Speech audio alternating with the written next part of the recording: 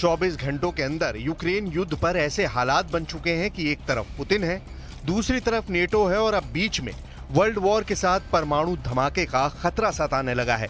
और इस वक्त यूरोप में यूक्रेन के बाद लंदन दुनिया के नक्शे पर वो जगह बन गई है, जहाँ परमाणु धमाके का सबसे बड़ा एपिसेंटर बनने का डर सताने लगा है। नेटो खौफ में है क्योंकि आशंका है कि लंदन इस वक्त पुतिन का टारगेट नंबर वन बन चुका है।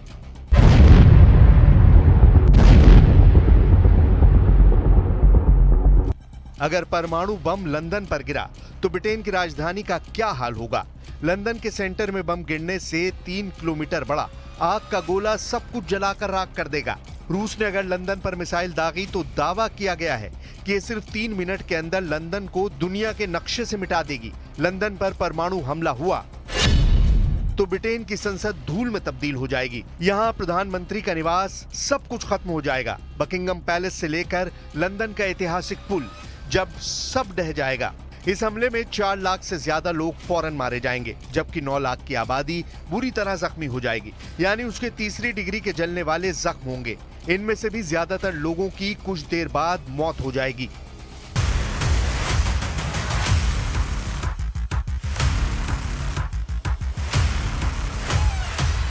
लंदन पर सबसे बड़ा खतरा क्यों मंडरा रहा है? इसे समझने के लिए आपको यूक्रेन ले चलते हैं।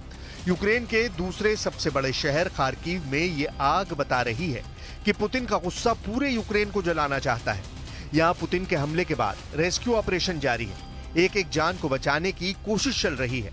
हमला इतना खतरनाक था कि जेलेंस्की के हाथ से युद्ध निकल चुका है। ये बात बार बार साबित हो रही है। उनका एक एक डिफेंस सिस्टम दम तोड़ता हुआ नज़र आ रहा है।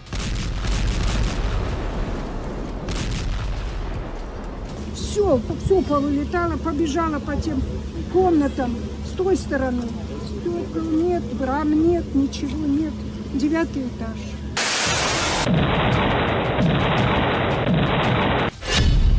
जेलेंस्की का दावा है कि पुतिन ने 24 घंटों के अंदर 128 गाइडेड बम से तबाही मचाई है यानी हर घंटे पुतिन पांच से ज्यादा बम यूक्रेन पर फोड़ रहे हैं और ये हमले ज्यादातर खारकीव सूमे और डोनेस्क में किए जा रहे हैं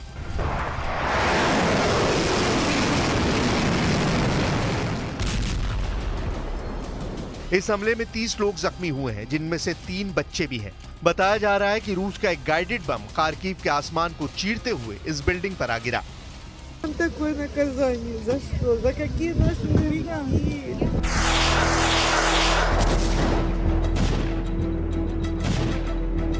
ये बात तो जेलेंस्की भी पूछ रहे हैं कि उन्हें किस बात की सजा दी जा रही है, जबकि युद्ध से तबाही का मंजर रोज खौफनाक होता जा रहा है। रूस और यूक्रेन दोनों अब एक दूसरे की बहुमंजिला इमारतों को टारगेट कर रहे हैं युद्ध बहुत ही भयानक दौर में पहुंच गया है Он тільки в одному цьому ударі по Харківщині було чотири авіабомби.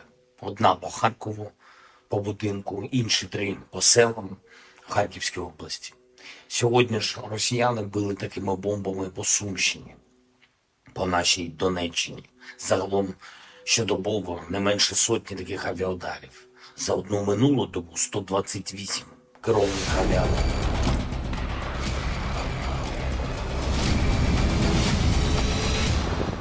लेकिन बॉर्डर के पार रूस में क्या हुआ है? जिसने पुतिन को कड़े फैसले लेने पर मजबूर कर दिया है। देखिए बेलग्रद के ये वीडियो। इन धमाकों ने जेलेंस्की का एजेंडा साफ़ कर दिया है। रूस के अंदर ऐसे खतरनाक हमलों को देखकर पुतिन बहुत बेचैन है जबकि जेलेंस्की ने पुतिन को रोकने के लिए फिर से अपनी पुरानी डिमांड पेश की है। цьому терору можна лише системне рішення.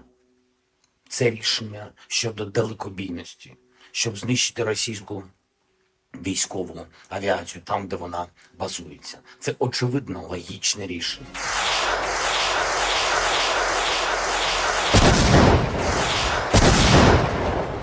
अब जेलेंस्की की इस डिमांड का सबसे बड़ा जवाब वॉशिंगटन डीसी से नहीं बल्कि लंदन से आया है यानी ब्रिटेन से ब्रिटेन के विदेश मंत्री ने कहा है कि वो यूक्रेन को लंबी दूरी की मिसाइल देने पर विचार कर रहा है यानी ऐसी मिसाइल जो रूस के अंदर हमला कर सकती है that we've increased spending on Ukraine, three billion a year on, for military equipment for as long as it lasts. They wanted more missiles. We've given them Brimstone missiles, 650. Uh, we announced more munitions, more artillery guns. that they need. And of course, we're discussing with allies a range of systems to ensure that we assist Ukraine in getting through the winter and repelling some of the worst action and aggression that we've seen from Putin in recent times.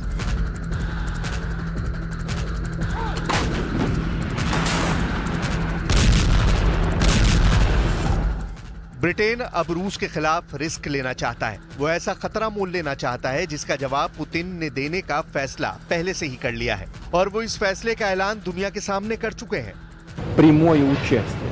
И это уже, конечно, существенным образом меняет саму суть, саму природу конфликта. Э, Это будет означать, что страны НАТО, США, европейские страны м, воюют с Россией. А если это так, то, а, имея в виду изменение самой сути этого конфликта, э, мы будем принимать соответствующие решения, исходя из тех угроз, которые нам будут создаваться.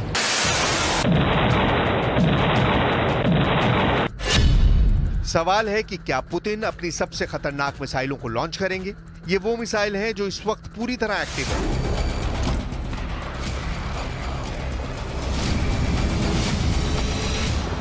रूस के लगातार हमलों के बीच Zelensky की लाचारी, NATO की मजबूरी और बाइडेन की बेचैनी देखने लायक है।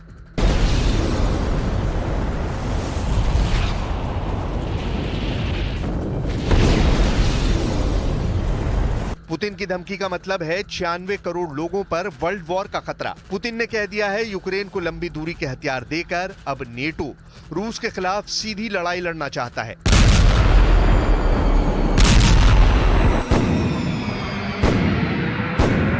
Идет не о том, чтобы разрешать украинскому режиму наносить удары по России этим оружием или не разрешать.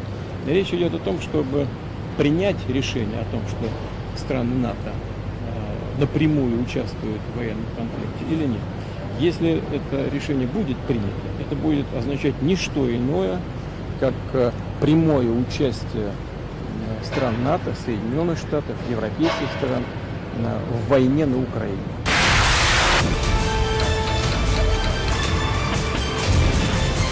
रूस के लगातार हमलों के बीच जेलेंस्की की लाचारी, नेटो की मजबूरी और पुतिन पर लग रहे इल्ज़ाम और नेटो पर बड़े हमले की तैयारी वाली बातें।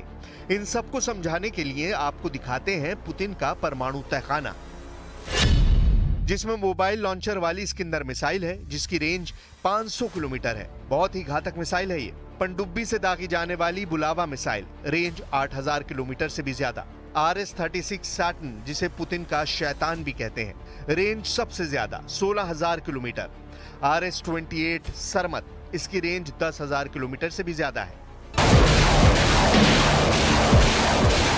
पुतिन की सबसे बड़ी गेम चेंजर मिसाइल है आर एस ट्वेंटी फोर। जंगल में छुपते हुए आगे बढ़ता हुआ ये ट्रक ही इसका लॉन्चर है। पुतिन कई बार इसकी टेस्ट लॉन्चिंग दिखा चुके हैं। अब डर है कि यूक्रेन युद्ध के दौरान इसका असली प्रैक्टिकल भी देखने को न मिल जाए। पूरी दुनिया बस इसी डर से घबराई हुई है। R S twenty four Yars की रेंज 11,000 किलोमीटर से भी ज़्यादा है। ये पुतिन की सबसे आधुनिक लैंड बेस्ड मिसाइल है। वहीं पुरानी यू आर हंड्रेड स्टेलेटो अब भी भरोसेमंद मिसाइल है। रेंज 10,000 किलोमीटर से ज़्यादा है।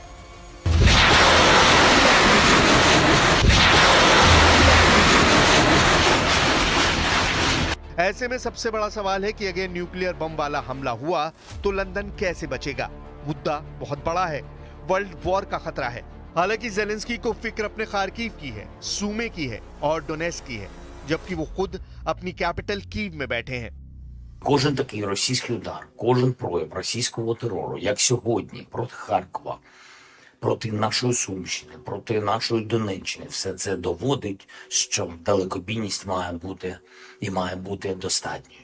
Ми очікуємо відповідних рішень, передусім від Сполучених Штатів Америки, Британії, Франції, Німеччини, Італії, усіх, хто може своєю рішучістю допомогти в порятунку життів.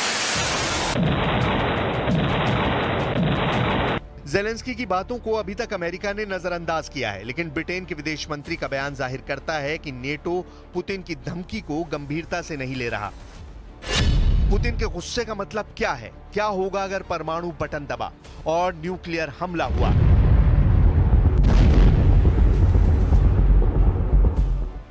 पुतिन के टारगेट पर दुनिया के कौन कौन से शहर होंगे?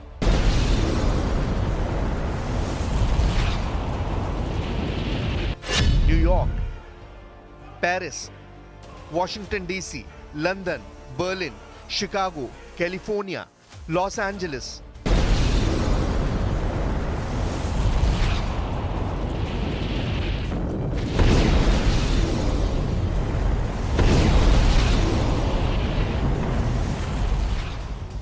ये नाम इसलिए क्योंकि पुतिन की रेंज इन शहरों तक है और अगर नेटो और अमेरिका ने उनके साथ न्यूक्लियर युद्ध शुरू किया तो पुतिन इन सभी शहरों को धूल में मिला देंगे।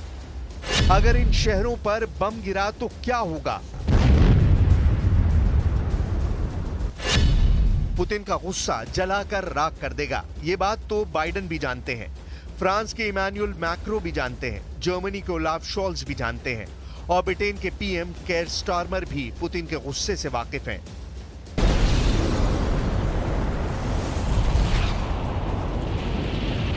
पुतिन की न्यूक्लियर कमांड इस वक्त पूरी तरह से एक्टिव है। वो अपने तमाम खतरनाक न्यूक्लियर हथियारों और उनके डिलीवरी सिस्टम को पूरी तरह परख चुके हैं। पुतिन के मिसाइल के टारगेट पर नेटो का हर बड़ा शहर है और इस बात को समझना बहुत ज़रूरी है कि पुतिन की धमकी को हल्के में लेने की गलती वर्ल्ड वॉर को दावत कही जाएगी।